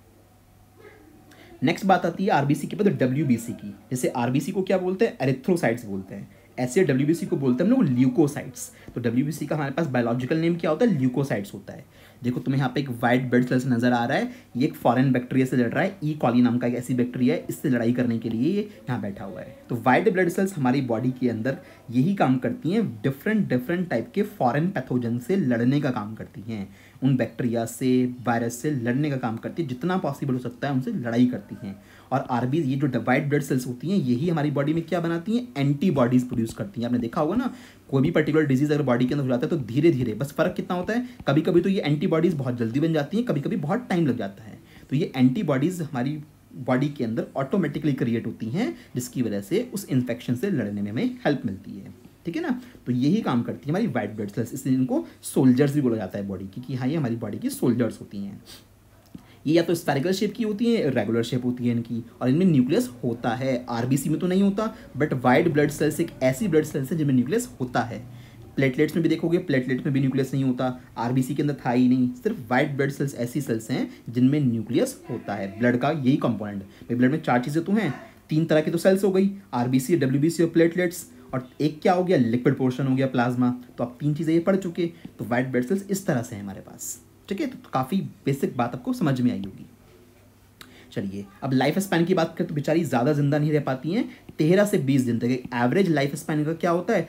थर्टीन टू ट्वेंटी डेज़ हमारी बॉडी में वाइट ब्लड सेल्स ज़िंदा रहती हैं। उसके बाद ये लिम्फेटिक सिस्टम होता है बॉडी के अंदर, वहाँ पे डिस्ट्रॉय कर दी जाती हैं और डेली बेसिस पे नई वाइट ब्लड सेल्स रिक्वायरमेंट के अकॉर्डिंग बनती रहती हैं। जब बॉडी में कोई बीमारी हो जाती है ना, कोई डिज़ीज़ हो जाता है तो उस केस में हमारी बोन मैरो के अंदर ज़्यादा ब्लड वाइट ब्लड सेल्स बनने लगती हैं, क्योंकि उससे लड़ना है ना तो हमारी बोन मैरो में स्टिमुलेशन जाता है, उसको पता लग जाता है कि बॉडी में बाहर से अटैक हुआ है तो उससे लड़ने के लिए बोन मैरो ज़्यादा सोल्जर्स भेजती है तो वाइट ब्लड सेल्स ज़्यादा आती हैं, जिससे उस डिज़ीज़ से लड़ा जा सके।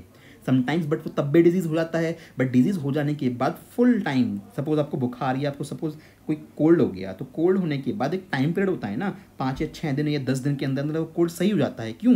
कि हमारी बॉडी के अंदर जो हमारी इम्यून सिस्टम है, जिसके अंदर हमारी एंटीबॉडीज़ प्रेजेंट होती हैं, ये वाइट ब्लड सेल्स प्रेजेंट होती हैं, ये लगातार उस डिज़ीज़ से लड़ती रहती हैं, लड़ती रहती हैं और एट लास्ट में उसको हरा के उसको ख़त्म कर देती हैं। ये सिचुएशन होती है पूरी की पूरी। और जो वाइट ब्लड सेल्स है, ये भी मैंने आपको बताया था, कहाँ बनती है? बोन मैरो के अंदर ही बनती हैं। लाइफ स्पैन लगभग इतना होता है, तुम्हें समझा दिया। अब वाइट ब्लड सेल्स टोटल पाँच तरह की होती हैं। इन पाँचों को ही क्या बोलते हैं? वाइट ब्लड सेल्स बोलते हैं। तो जब भी ब्लड रिपोर्ट आती है ना तो उसके अंदर इन सबका ज़िक्र होता है। Basophils neutrophils eosinophils monocytes lymphocytes अगर आपको बेसिक जानकारी है तो आप लोग अपनी ब्लड रिपोर्ट को देख के खुद भी काफ़ी कुछ डिटरमाइन कर सकते हो कि एग्जैक्टली प्रॉब्लम क्या है। जैसे दो चार बातें मैं बता देता हूँ, मैं ज़्यादा डिटेल में नहीं जाऊँगा, क्योंकि टेंथ क्लास तक तुम्हें चीज़ें पढ़ानी है अभी। तो बेसोफिल्स सपोज़ करो, अगर बेसोफिल्स का काउंट गड़बड़ है किसी पर्सन की रिपोर्ट में तो उसका मतलब उस पर्सन को किसी ना किसी चीज़ से एलर्जी है। तो एलर्जेटिक सिम्टम्स अगर होते हैं तो बेसोफिल्स की काउंटिंग में गड़बड़ होती है। इसी तरह से आपकी बॉडी पे पिंपल्स वगैरह हो गए, या कहीं पे फोड़े फुंसी वगैरह निकल आए तो उस सिचुएशन में मोनोसाइट्स की काउंट में गड़बड़ होता है। ये मोनोसाइट्स लड़ती हैं फॉरेन बैक्टीरिया वगैरह से, और बॉडी के ऊपर जाके पिंपल्स फॉर्मेट में उस चीज़ को बना देती है, ताकि वो चीज़ बॉडी के अंदर एंटर ना कर पाए। तो मोनोसाइट्स की काउंट में चेंज है अगर तो उसका मतलब पिंपल्स जैसी प्रॉब्लम है उस बंदे को। इसी तरह से जो ये लिम्फोसाइट्स हैं, इन लिम्फोसाइट्स को बोलते हैं ब्लैक हेड कमांडो आप ऐसे मान सकते हो, जैसे कंट्रीज़ में होते हैं ना ब्लैक हेड कमांडो सबसे पावरफुल आर्मी जो होती है। तो ब्लैक हेड कमांडो की तरह ये हमारी बॉडी में काम करती हैं। यानी डिज़ीज़ से लड़ने के लिए सबसे ताकतवर कौन होती हैं? लिम्फोसाइट्स होती हैं। ये डायग्राम दिख रहे हैं आपको थोड़े बहुत डायग्राम वगैरह नहीं बनाने, नाम पता होने चाहिए, नाम बहुत इंपॉर्टेंट है। तो ये पाँच तरह की हमारे पास हमारी वाइट ब्लड सेल्स होती हैं। तो इनके बारे में बेसिक जो दो चार मैंने आपको बतानी थी, वो बता दी यहाँ पे, ठीक है जी? तो वाइट ब्लड सेल्स की जानकारी आपको हो गई। कहाँ बनती है? बोन मैरो में बनती है। प्रोडक्शन इंक्रीज हो जाता है हाँ तब इंक्रीज होता है जब किसी डिज़ीज़ से लड़ना होता है। एक और बात अगर ये white blood cells uncontrolled growth इनकी होने लगे बॉडी के अंदर, यानी कि बिना ही वे मतलब बेवजह की ये वाइट ब्लड सेल्स बॉडी के अंदर प्रोड्यूस हो रही हैं, कोई स्पेसिफिक रीज़न नहीं है, कुछ नहीं है डब्ल्यू बने जा रही हैं बॉडी के अंदर। तो ऐसा पर्टिकुलर डिज़ीज़ बड़ा डेंजरस डिज़ीज़ होता है, ऐसा डिज़ीज़ कहलाता है ल्यूकेमिया क्या बोलते हैं उसको? ल्यूकेमिया बोलते हैं ल्यूकेमिया एक तरह का ब्लड कैंसर होता है। तो ब्लड कैंसर के अंदर और कुछ नई चीज़ नहीं होती बॉडी के अंदर डब्ल्यू का अनकंट्रोल ग्रोथ शुरू जाता है और इसको क्या बोलते हैं? ब्लड कैंसर या ल्यूकेमिया बोलते हैं। ठीक है ना? चलो। नेक्स्ट स्लाइड में देखते हैं। जो डब्ल्यू की काउंट होती है, बहुत कम होती है ऑब्वियसली बात है। जो आरबीसी देखी थी तो मिलियंस में थी बट यहाँ पे देखो मेल पर्सन की बात करें तो डब्ल्यू वही एक माइक्रोलीटर ब्लड की बात हो रही है। एक माइक्रोलीटर एमएल से भी छोटा एमएल का भी हजारवा पार्ट है भाई माइक्रोलीटर मेल पर्सन में पाँच हज़ार से लेकर दस हज़ार के आसपास डब्ल्यू बी सी होती हैं।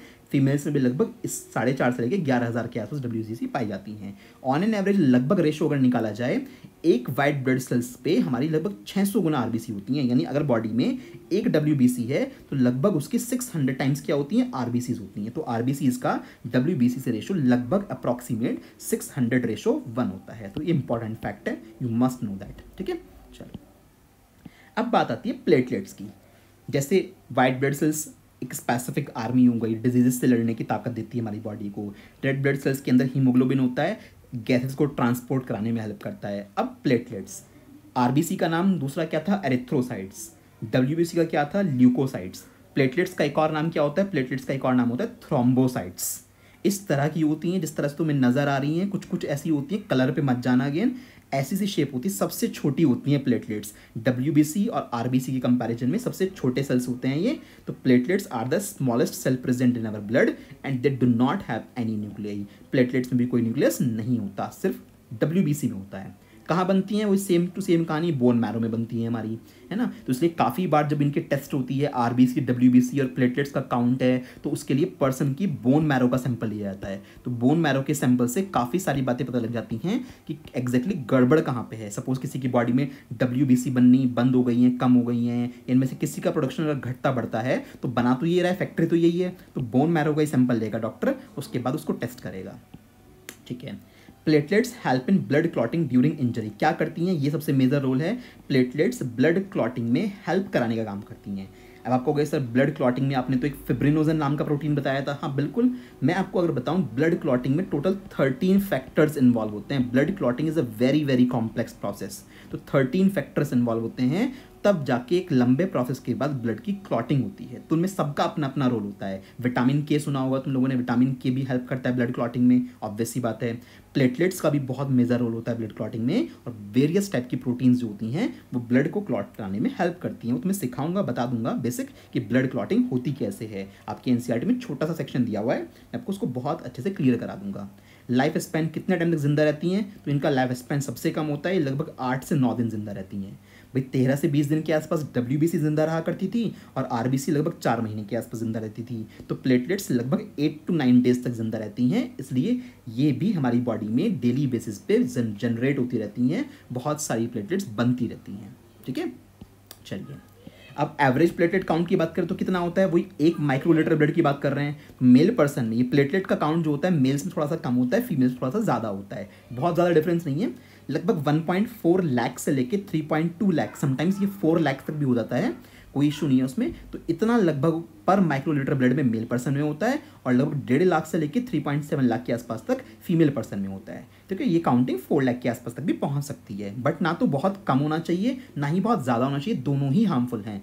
प्लेटलेट हर एक चीज़ का, देखो एक्सेस हार्मफुल होता है। आपकी बॉडी में कोई सा भी सेल ज़्यादा अमाउंट में अगर बन रहा है, वो भी हार्मफुल है, नहीं बन रहा है तो भी वो हार्मफुल है। तो जो नॉर्मल अमाउंट होता है, वो मेंटेन रहना चाहिए उस चीज़ का। तो ये जो हमारी प्लेटलेट्स होती हैं, इसका काउंट बहुत बुरी तरह अफेक्ट होता है। एक तो डेंगू फीवर में डेंगू फीवर जब किसी को हो जाता है डेंगू की कोई वैक्सीन तो होती नहीं आप लोगों को पता है। आज तक कोई वैक्सीन ही नहीं बनी डेंगू की। डेंगू फीवर अगर हो गया तो नॉर्मल टैबलेट्स वगैरह दी जाती हैं उसको फीवर कम करने के लिए या पेन किलर दी जाती हैं। तो डेंगू फीवर में सीधा अटैक होता है प्लेटलेट काउंट पे। और इसी तरह से एक ये फीवर है इबोला फीवर तो इबोला फीवर के अंदर भी प्लेटलेट की काउंटिंग पे इफ़ेक्ट पड़ता है। तो ये दो ऐसे डिज़ीज़ हैं जो डायरेक्टली किस पे अटैक करते हैं हमारी बॉडी की? प्लेटलेट्स पे अटैक करते हैं जस्ट अ नॉलेज ठीक है? तो ये बात हमारे पास क्लियर आउट हो गई। प्लेटलेट्स मैंने तुम्हें बता दी, ठीक है भाई? देख लो, ये आर तुम्हें दिखाई दे रही है इस तरह से और साइड में क्या घूम रही है? प्लेटलेट्स फिर से मैं बोल रहा हूँ कलर पे मत जाना कि ये सर इसी कलर की होती हैं क्या? पहले तो रेड कलर की थी। कलर का कोई लॉजिक नहीं है। आप सिर्फ़ डायग्राम देखिए शेप लगभग इनकी ऐसी ही होती है, ठीक है जी? तो आपके पास प्लाज्मा आप लोगों ने पढ़ लिया, आप लोगों ने मतलब ब्लड के कंपोनेंट ऑलमोस्ट सारे पढ़ लिए W B C R B C platelets और काफ़ी नॉलेज आप लोगों को मैंने दे दी है, काफ़ी कुछ बता दिया है। अब बात आती है ब्लड क्लॉटिंग पे। Blood clotting is an very very essential process very important मतलब एक तो ठीक है एग्जामिनेशन पॉइंट ऑफ़ व्यू से इंपॉर्टेंट है, वो बात छोड़ो। मेन बात ये आती है कि ब्लड की क्लॉटिंग हमारी बॉडी में होनी बहुत ज़रूरी है। अगर ब्लड क्लॉट नहीं हुआ ना भैया तो एक सुई की नोक भी अगर चुप गई ना, वहाँ से ब्लड आएगा तो धीरे धीरे पूरी बॉडी खाली हो जाएगी और आप वैसे ही मर जाओगे ब्लड के एक्सेसिव लॉस की वजह से। तो इसलिए अगर छोटी मोटी कहीं पर चोट लग जाए, बहुत ज़्यादा हाथ कट गया तो भैया वो काफ़ी एक्सेसिव ब्लीडिंग होती है, फिर तो उसके लिए टाँके वगैरह लगवाने पड़ेंगे, उसका तो कुछ कर नहीं सकते हैं, वो तो एक अलग कहानी हो गई। बट छोटी मोटी अगर कहीं पे चोट लग जाए इंजरी लग जाए तो उस सिचुएशन में क्या होगा ब्लड क्लॉट होना शुरू हो जाता है ऑटोमेटिक गॉड ने ऐसा गिफ्ट किया है, पूरी बॉडी को ऐसे डिज़ाइन किया है कि उस सिचुएशन में हमारी बॉडी खुद को रिकवर करने की ताकत रखती है। तो ब्लड की क्लॉटिंग कब होगी? If a person gets injured bloods come out of the out from the cut but after sometimes हमने देखा जाता है कि ब्लड क्लॉट होना शुरू हो जाता है। इससे फ़ायदा क्या होता है कि ब्लड क्लॉट अगर हुआ तो आपकी बॉडी का इंटरनल एनवायरनमेंट एक्सटर्नल एनवायरनमेंट के कॉन्टेक्ट में ज़्यादा टाइम तक नहीं रहेगा। तो बाहर से बैक्टीरिया और वायरस एंटर नहीं कर पाएँगे इन्फेक्शन से बच जाओगे। और दूसरी बात, सबसे मेन बात क्या है कि बॉडी से ज़्यादा ब्लड लॉस नहीं होगा। काफ़ी बार देखा होगा ना कि किसी को चोट लग गई एक्सीडेंट हो गया और जब तक हॉस्पिटल तक लेके गए तो डॉक्टर ने ये बोल दिया कि भैया इसका ब्लड बहुत ज़्यादा बॉडी से लॉस हो चुका है, अब इसको हम बचा नहीं सकते हैं। तो ब्लड का जो अमाउंट है बॉडी में बहुत इंपॉर्टेंट होता है। अगर ज़रूरत से ज़्यादा ब्लड बॉडी से बह जाता है तो उस सिचुएशन में पर्सन की जान बचानी बहुत मुश्किल हो जाती है। तो इसलिए ब्लड क्लॉटिंग एक गिफ्ट है गॉड के थ्रू हमें दिया हुआ। है ना? इस कभी कभी ऐसा भी होता है कि कई लोगों में ब्लड क्लॉटिंग नहीं होती है। जैसे ब्रिटेन में कोई ये मेरे को एग्जैक्ट स्टोरी तो याद नहीं है, ब्रिटेन में आई थिंक जो एलिजाबेथ हैं, उन्हीं की कोई फैमिली में ऐसा था कुछ ब्लू ब्लड डिज़ीज़ के नाम से। एक मतलब जेनेटिक बीमारी थी कि वहाँ पे क्या था ब्लड के अंदर जो मतलब जो क्लॉटिंग फैक्टर्स होते हैं, वो ना के बराबर थे उन, उनके पूरे खानदान में। तो अगर छोटी सी भी सुई की नोक लग जाए तो बॉडी से उनका पूरा ब्लड निकल जाएगा क्लॉटिंग अपने आप नहीं होगी। तो इसलिए वो साथ में उनकी फैमिली के जब भी लोग कहीं जाते थे तो साथ में मेडिकल इक्विपमेंट साथ में लेके जाया करते थे सो दैट अगर कभी ऐसी सिचुएशन आने लगे तो उनका टाइम से ट्रीटमेंट किया जा सके। क्योंकि ब्लड तो अपना क्लॉट होगा नहीं, वो बीमारी है। तो अदरवाइज़ मेजोरिटी में जितने भी ह्यूमन बींग्स होते हैं पूरी अर्थ पे, सबकी बॉडी में ये ऑटोमेटिक प्रोसीजर होता है कि हाँ ब्लड की क्लॉटिंग होनी ही होनी है। और बहुत कॉम्प्लेक्स प्रोसीजर है। टोटल थर्टीन फैक्टर्स इन्वॉल्व होते हैं। हमें वो सब नहीं पढ़ने हैं। हम डॉक्टर नहीं बनने जा रहे हैं। अभी हम सिर्फ़, हमें टेंथ क्लास की जो बातें हैं, हमें वो सीखनी है। तो बहुत सारी चीज़ बायो में जब पढ़ोगे एट लास्ट तक मैं इतना कुछ बता दूँगा कि तुम लोगों को थोड़ा थोड़ा फील होने लगेगा कि हल्के फुल्के तो डॉक्टर हम बन गए हैं। ठीक है तो ब्लड क्लॉटिंग के बारे में देखते हैं तो बेसिक था कि कैसे होती है। अब जरा उस बात को समझ लेना, एक बेसिक अंडरस्टैंडिंग अब इस डायग्राम पे आ जाओ, इसे छोड़ो फ़िलहाल। यहाँ से पिन चुभी आपकी बॉडी में। यहाँ से आपकी कोई वेसल क्रैक कोई पिन चुभते ही यहाँ से ब्लड बाहर आने लगा धीरे धीरे तो एकदम से प्लेटलेट्स को इन्फॉर्मेशन मिली ब्लड के अंदर से प्लेटलेट दौड़ी हुई आई और उन्होंने यहाँ पे एक जगह पे इकट्ठा हो गई कलेक्ट हो गई, है ना? यहाँ पे उन्होंने एक्यूमुलेट होना स्टार्ट कर दिया। तो ये है ब्लड की प्लेटलेट्स अब होता क्या है कि ब्लड की प्लेटलेट्स क्या करती हैं? एक बंदा है जिसको कॉल करना पड़ेगा। उनका नंबर किसके पास है? ब्लड की प्लेटलेट्स के पास है। तो इन्होंने क्या करा? इस ब्लड प्लेटलेट ने एक केमिकल होती है बॉडी के अंदर थ्रोम्बिन नाम से। इस थ्रोम्बिन को कॉल करा। थ्रोम्बिन जब तक नहीं आएगा, तब तक कुछ भी नहीं हो सकता। तो ब्लड प्लेटलेट्स ने क्या करा? ऊपर से बता रहा हूँ, ये ओवरव्यू जस्ट तो ब्लड प्लेटलेट्स ने थ्रोम्बिन को कॉल करा। थ्रोम्बिन आया ब्लड प्लेटलेट के कहने पे। थ्रोम्बिन अभी ये क्या करेगा? जो हमारी प्लाज्मा के अंदर फिब्रिनोजन नाम की प्रोटीन थी, इस फिब्रिनोजन को धीरे धीरे धीरे धीरे फिब्रिन में कन्वर्ट करना स्टार्ट कर देगा। एक धागे जैसी स्ट्रक्चर थ्रेड्स जैसी स्ट्रक्चर में कन्वर्ट करना स्टार्ट कर देगा और ये थ्रेड जैसे स्ट्रक्चर और प्लेटलेट्स मिलकर यहाँ जम जाएँगे और फाइनली क्या बन जाएगा? ब्लड का एक क्लॉड बन जाएगा। देखो, हुआ ये ना प्लेटलेट्स ने किसको बुलाया? थ्रोम्बिन को। थ्रोम्बिन के पास ये ताकत है कि वो फिब्रिनोजन को किसमें कन्वर्ट कर सकता है? फिब्रिन में कन्वर्ट कर सकता है। तो लगातार यही होता रहता है कि थ्रोम्बिन इसको कॉल करेगा और फिब्रिनोजन क्या करता रहेगा? लगातार फिब्रिन फिब्रिनोजन लगातार फिब्रिन में कन्वर्ट होता रहेगा और फाइनली यहाँ पे आके जम जाएगा और यहाँ पे क्लॉट हो जाएगा ब्लड का और ब्लड का बहना बॉडी से बंद हो जाएगा। यही कहानी यहाँ पे लिखी हुई है। Platelets aggregate at the site of wound जहाँ आपको चोट लगी, यहाँ प्लेटलेट इकट्ठा हो गई। Broken cells and platelets release chemicals broken से टूटे हुए जो सेल्स हैं इस जगह पे और जो प्लेटलेट्स हैं, इन्होंने मिलकर कॉल करा थ्रोम्बिन को। ठीक है? किसको? To stimulate the thrombin production तो थ्रोम्बिन का प्रोडक्शन बॉडी में स्टार्ट हुआ। तो थ्रोम्बिन का प्रोडक्शन जैसी बॉडी में स्टार्ट हुआ थ्रोम्बिन ने क्या करा? Thrombin converts the protein fibrinogen into sticky ये जो चिपचिपा प्रोटीन होता है फिब्रिन में उसको कन्वर्ट कर दिया और जिसने फाइनली क्या कर दिया? इस जगह पे कट लगा के मतलब इस तरह से पूरे चीज़ को बाँध दिया। तो फाइनली यहाँ पे हमारे पास ब्लड का बहना रुक गया। प्रोसीजर समझ में आ गया ना? तो अगर ब्लड क्लॉटिंग तुमसे पूछते हैं तो इसी तरह से ये बेसिक स्टेप आप लिख के आ सकते हो और ये डायग्राम भी बड़ा अच्छा है, इसको भी बना लेना। ठीक है ना? तो थ्रोम्बिन को कॉल किया गया थ्रोम्बिन को स्टिमुलेट किया किसने? इन प्लेटलेट्स ने और टूटी हुई ब्लड सेल्स ने। थ्रोम्बिन ने आके क्या करा? फिब्रिनोजन प्रोटीन को फिब्रिन जैसे स्टिकी सब्सटेंस में कन्वर्ट करना स्टार्ट कर दिया और ये फिब्रिन यहाँ पे इसके साथ मिलके क्लॉट में कन्वर्ट हो गए ब्लड का बहना रुक गया। ठीक है?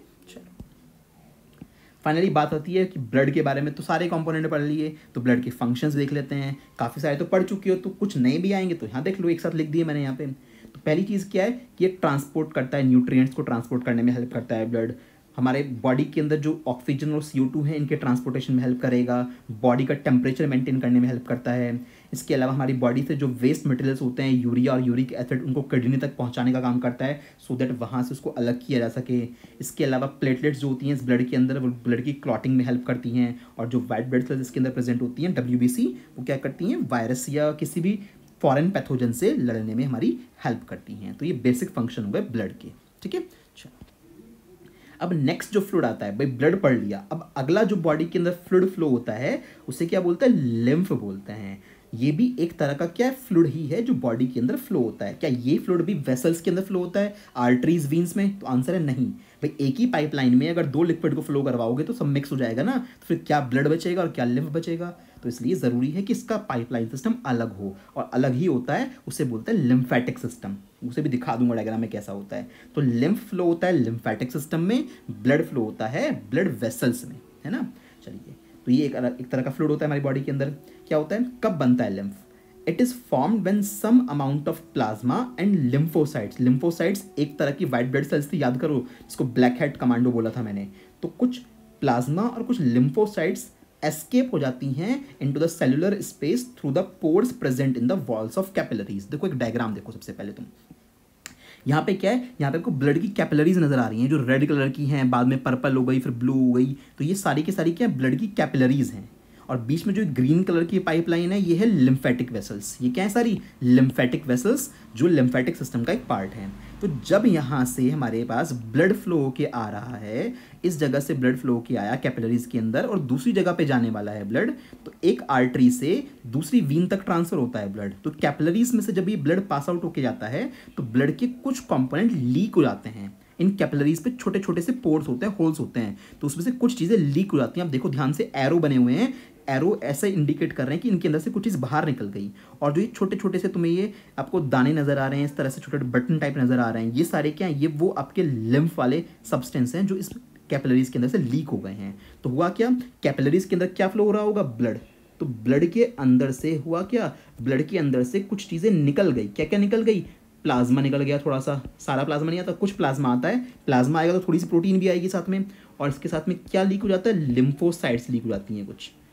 तो अभी ये ब्लड में से जो प्लाज्मा और लिम्फोसाइट्स लीक हो गई, ये मिलके क्या बनाते हैं? ये मिलके लिम्फ नाम का एक फ्लूड बना लेते हैं। इसी चीज़ को क्या बोलते हैं? लिम्फ तो ब्लड जब इसमें से पास आउट हुआ तो उसमें से ये कुछ चीज़ें लीक हो गई जो तुम्हें साइड साइड में नज़र आ रही हैं, और ये कहाँ जाके एब्जॉर्ब हो जाएँगी? ये ग्रीन कलर की जो वेसल्स हैं, ये उसको एब्जॉर्ब करके अपने साथ ले जाएँगी, और पूरी एंटायर बॉडी में फ्लो करा देंगी। तो ये लिम्फेटिक वेसल्स हैं ग्रीन कलर में। और ये आपके पास जो जाल है बीच में, ये रेड कलर और ब्लू कलर वाला, ये कैपिलरीज का जाल है। तो जब ब्लड कैपिलरीज में फ्लो होता है तो कुछ चीज़ें ब्लड में से लीक हो जाती हैं और लिम्फ वेसल्स में एंटर कर जाती हैं। उन लीक हुई हुई चीज़ों में क्या होता है? प्लाज्मा होता है कुछ और लिम्फोसाइट्स होती हैं। इन दोनों के कॉम्बिनेशन को क्या बोलते हैं? लिम्फ बोलते हैं। बात समझ में आ गई? लिम्फ में प्लाज्मा में सिंपल सा डिफरेंस ये है प्लाज्मा स्ट्रॉ जैसे कलर का होता है लिम्फ बिल्कुल कलरलेस होता है। देखो, लिखी हुई है बात लिम्फ एक कलरलेस लिक्विड होता है यहाँ पे। और प्लाज्मा में बहुत सारी वेराइटी ऑफ़ प्रोटीन्स होती हैं और कंसंट्रेशन भी ज़्यादा होती है प्रोटीन की लिम्फ में बहुत कम प्रोटीन्स होती हैं। तो ये सारी बात मैंने यहाँ पे लिख दी। होप कि तुम्हें समझ में आया होगा इस डायग्राम से एक्जैक्टली ये बहुत अच्छे पिक्चर है जो क्लियर अंडरस्टैंडिंग कराती है कि कैसे जब ब्लड ब्लड कैपिलरीज से पास आउट हुआ तो उसमें से लिम्फ निकल के, यानी जो ये छोटे छोटे से बटन नज़र आ रहे हैं, ये निकल के कहाँ एंटर कर गए? इन लिम्फ वेसल्स में एंटर कर गए और लिम्फ वेसल्स से पूरा बाद में आपके लिम्फेटिक सिस्टम बनेगा क्या करेगा? देखेंगे इसको आगे। नेक्स्ट में देखो, ये पूरी बॉडी के अंदर जो लिम्फेटिक सिस्टम होता है, ये पूरा लिम्फेटिक सिस्टम दिखा रखा है। आपके आर्म पेट्स में जो बगल में होते हैं, ये लिम्फ नोड्स इसके अलावा गले में भी होती हैं। आपके डॉक्टर कई बार जब कैंसर वगैरह की उसको डाउट होता है ना तो इनकी गांठ बन जाती है जगह जगह पर आपको जगह जगह पर डॉट डॉट दिखाई दे रहे होंगे ना, इनको लिम्फ नोड्स बोलते हैं। तो समटाइम्स इसके अंदर फैट जमा होने लगता है काफ़ी सारे सब्सटेंस यहाँ पे जमा हो जाते हैं और आप कई बार गांठ उभर आती है बॉडी के अंदर। तो डॉक्टर गले के आसपास, आपके आम पेट के आसपास चेक करता है आइडेंटिफिकेशन करने के लिए कि उस पर्सन को कैंसर जैसे चांस तो नहीं है। तो लिम्फेटिक वेसल्स इस तरह से पूरी बॉडी में ऐसे फैली हुई होती हैं और क्या बनाती हैं? लिम्फेटिक सिस्टम क्रिएट करती हैं पूरा का पूरा। ये ग्लैंड है, एक इस पर इतना जानने की ज़रूरत नहीं है। ग्लैंड्स पढ़ लोगे आप नेक्स्ट चैप्टर में। ये एक स्प्लीन होती है। कुछ जो आर और डब्ल्यू होती हैं, वो स्प्लीन के अंदर भी बनती हैं। खैर, हमें तो लिम्फेटिक सिस्टम जो आपको ये पर्पल कलर का नज़र आ रहा होगा, ये दिखाना था। तो ये जो लिम्फ होता है, कहाँ फ्लो होता है? लिम्फ इट मतलब lymph it flows in the vessels called lymphatic vessel तो ये लिम्फेटिक वेसल्स है और ये पूरा नेटवर्क क्या कहलाता है? ये लिम्फेटिक सिस्टम कहलाता है। इस लिम्फेटिक सिस्टम में क्या फ्लो होता है? लिम्फ फ्लो होता है। लिम्फ कहाँ से आया? सिंपल ब्लड के अंदर से। जब वो ब्लड कैपिलरीज से पास आउट हुआ तो कैपिलरीज में कुछ होल्स थे, कुछ पोर्स थे। वहाँ से लीक हो गया थोड़ा सा प्लाज्मा और मेजोरिटी में ल्यूकोसाइट्स ठीक है? ल्यूकोसाइट्स कौन सी? लिम्फोसाइट्स वाली। तो उसको प्लाज्मा उस लिम्फोसाइट्स को मिला के हम लोगों ने क्या बोला? लिम्फ बोला। इसलिए लिम्फ वहीं से आया लिम्फोसाइट्स वर्ड से आया क्योंकि इसमें मेजॉरिटी में लिम्फोसाइट्स होती हैं। और ये कहाँ फ्लो होती है? एक अलग सिस्टम है, अलग नेटवर्क है बॉडी के अंदर किससे क्या बोलते हैं? लिम्फेटिक सिस्टम बोलते हैं। देखो बॉडी कितनी कॉम्प्लेक्स है हमारी। पता नहीं कितने सारे सिस्टम बने हुए हैं। आप लोगों ने अलग से क्या पढ़ा था? सबसे पहले न्यूट्रिशन में डाइजेस्टिव सिस्टम पढ़ा था, वो भी यहीं पे फिट है बॉडी के अंदर। फिर अपने रेस्पिरेटरी सिस्टम पढ़ा था यहाँ पे लंग्स थे ट्रैकिया व्रैकिया बहुत कुछ था। इसके अलावा अभी आप क्या पढ़ रहे हो फ़िलहाल? हमारे पास ट्रांसपोर्टेशन यानी सर्कुलेटरी सिस्टम पढ़ रहे हो, उसके अंदर हमारा हर्ट आएगा हर्ट भी यहीं फिट है, बहुत सारी आर्टरीज वीन्स कैपिलरीज हैं, वो भी सब पूरी बॉडी में हैं लिम्फेटिक सिस्टम एक नई चीज़ आ गई, ये भी हमारी पूरी बॉडी में फिट है, इसके बाद एक्सक्रेटरी सिस्टम पढ़ोगे एक्सक्रेटरी सिस्टम के अंदर भी हमारी किडनीज वगैरह बहुत सारी चीज़ें होती हैं, फिर रिप्रोडक्टिव सिस्टम पढ़ोगे, और reproductive system chapter number three के अंदर आएगा तो उसमें रिप्रोडक्टिव ऑर्गन्स देखोगे तो सब कुछ बॉडी के अंदर फिट है जब आप नेक्स्ट चैप्टर में कंट्रोल कोऑर्डिनेशन के अंदर पर देखोगे तो ब्रेन के बारे में देखोगे। तो देखो बॉडी इतना सारा कुछ है, बहुत कॉम्प्लेक्स तरीके से हमने डिज़ाइन किया गया है। इस वजह से हम लोग क्या कहलाते हैं? कॉम्प्लेक्स क्रिएचर कहलाते हैं कि भैया, हम मल्टी सेलर तो हैं बट साथ में कॉम्प्लेक्स क्रिएचर है। इंसान में बहुत सारी चीज़ें, बहुत कॉम्प्लेक्स तरीके से इनबिल्ट की गई हैं। ठीक है? तो थोड़ी सी बात आपको यहाँ क्लियर हो गई है। लिम्फ का काम क्या है। इंपॉर्टेंट है भाई लिम्फ, ध्यान रखना। आपकी एनसीईआरटी e में बहुत छोटा सा इंट्रो दे रखा है। मैंने काफ़ी कुछ क्लियर कराने की तुम्हें कोशिश करी है लिम्फ में। डायग्राम अभी तक ऐसा कुछ आया नहीं है जो इंपॉर्टेंट आपको बनाना हो। कोई लगे इंपॉर्टेंट तो आपको बना लेना। अदरवाइज़ फ़िलहाल ऐसा कुछ नहीं है कि जो एग्जामिनेशन पॉइंट ऑफ़ व्यू से इंपॉर्टेंट हो। कहीं पे कोई अच्छा डायग्राम लगे कि आपकी नॉलेज के लिए बढ़िया है तो स्क्रीन शॉट लेकर रख सकते हो, कोई इशू नहीं है उसका। इसके बाद लिम्फ ट्रांसपोर्ट क्या क्या करता है? ऑक्सीजन ट्रांसपोर्ट करता है। इन लिम्फेटिक वेसल्स में बोल रहा हूँ क्या क्या बहता है? हार्मोन्स फ्लो होते हैं न्यूट्रिएंट्स फ्लो होते हैं बॉडी के डिफरेंट डिफरेंट पार्ट्स तक तो ये काम होता है। इसके अलावा क्या होता है कि इंपॉर्टेंट वर्क है लिम्फोसाइट्स ट्रांसपोर्ट होती है और एंटीबॉडीज़ बॉडी की एक जगह से दूसरी जगह ट्रांसपोर्ट होती हैं। क्योंकि ये बॉडी के वो सेल्स हैं जो बॉडी की प्रोटेक्शन करते हैं डिज़ीज़ से, इसलिए लिम्फ बॉडी की प्रोटेक्शन में हेल्प करता है। जो लिम्फोसाइट्स हैं बॉडी को हार्मफुल पैथोजन से बचाने में हमारी हेल्प करती हैं। इसके अलावा एक और इंपॉर्टेंट वर्क क्या है कि हमारी स्मॉल इंटेस्टाइन के अंदर जो फैट डाइजेस्ट होकर एब्जॉर्ब हुआ है, उसको पूरी बॉडी में कैरी करने का काम कौन करता है? वो भी लिम्फ करता है। याद करो बाइल जूस ने बड़े बड़े फैट ग्लोब्यूल्स को छोटों में तोड़ दिया था, उसके बाद स्मॉल इंटेस्टाइन के अंदर एंट्री हुई थी वहाँ पर बाइल जूस की। वहाँ से क्या हुआ था कि वो जो हमारे छोटे छोटे पार्ट में फैट ग्लोबल टूट गए थे, उनको फर्दर लाइपेज ने किसमें तोड़ दिया था? फैटी एसिड्स में और ग्लिसरॉल्स में। और ये बाद में जो फैटी एसिड्स और ग्लिसरॉल हैं, इनको लिम्फ कैरी करके पूरी बॉडी में पहुँचा देगा। तो ये कहानी हो गई लिम्फ के बारे में ख़त्म मोर देन एनफ सारी बातें बता दी तुम्हें ठीक है जी? अब क्या पूछा है? Which blood cells transport oxygen कौन सी ब्लड सेल्स ऑक्सीजन ट्रांसपोर्ट करती हैं? बहुत आसान है तो कौन सी होती हैं? रेड सेल्स आर क्योंकि इसके अंदर क्या होता है? हीमोग्लोबिन होता है। इस वजह से ऐसा होता है। तो ऑप्शन नंबर टू हमारा करेक्ट हो गया। चलिए जी, अब आपका ये होमवर्क है, ये आप खुद से करोगे, काफ़ी सारी बात मैंने आपको पढ़ा दी। ब्लड और लिम्फ का डिफरेंस लिखोगे एटलीस्ट पाँच डिफरेंस आप लोगों को कवर अप कर रहे हैं। बहुत अच्छे से इजी वर्ड में लिखिएगा। तो ये सब के लिए होमवर्क है इंपॉर्टेंट क्वेश्चन बनेगा एग्जामिनेशन पॉइंट ऑफ़ व्यू से। तो नॉलेज बहुत सही से होनी चाहिए तो एग्ज़ाम भी आपके आराम से पास हो जाएँगे। तो अगला क्वेश्चन आपका होमवर्क के लिए ये है, ये एक इंपॉर्टेंट क्वेश्चन है, जरा इसको देखो क्या है if a person had a defect in the gene for fibrinogen suppose एक पर्सन के जीन में ही डिफेक्ट है फिब्रिनोजन नाम की प्रोटीन के लिए then what health problem could this cause अब ज़रा दिमाग लगाना इस फिब्रिनोजन को कनेक्ट करना, सोचना कि फिब्रिनोजन नाम की प्रोटीन किस चीज़ के लिए काम आई थी। उसी से इस क्वेश्चन का आंसर बन जाएगा।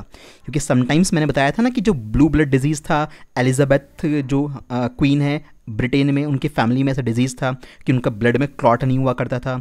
तो इस सिचुएशन में वहाँ पे फिब्रिनोजन नाम की जो प्रोटीन होती है, उसके लिए कोई ना कोई कोडिंग डिफेक्ट होती है हमारे जीन के अंदर, जिस वजह से वो जेनेटिक डिज़ीज़ आता है। तो सोच के देखना प्रॉपर वे में इसका आंसर लिखना कि फिब्रिनोजन प्रोटीन में अगर कोई डिफेक्ट है तो उस सिचुएशन में क्या क्या प्रॉब्लम्स अराइज हो सकती हैं। ठीक है तो ये सेकेंड क्वेश्चन हो गया आपका होमवर्क के लिए। डायग्राम ऐसा कोई खास आया नहीं है, एक आध जगह जहाँ पे कहीं कोई चार्ट आया है इंपॉर्टेंट उसको बना लेना।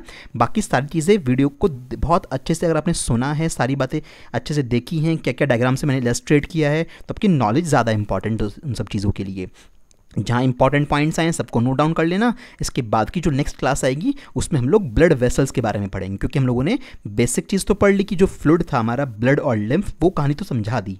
नेक्स्ट में जो ब्लड वेसल्स हैं आर्टरीज हैं वीन्स हैं, है ना? और जो पंपिंग डिवाइस है हमारी हर्ट इन सब के बारे में कवर अप नेक्स्ट क्लास में कर लेंगे। और जब वो हो जाएगा after that we will move on the transportation in plants ठीक है ना? प्लांट्स का ट्रांसपोर्टेशन लोग सबसे बाद में पढ़ेंगे वहाँ पर ठीक है ना? चलो।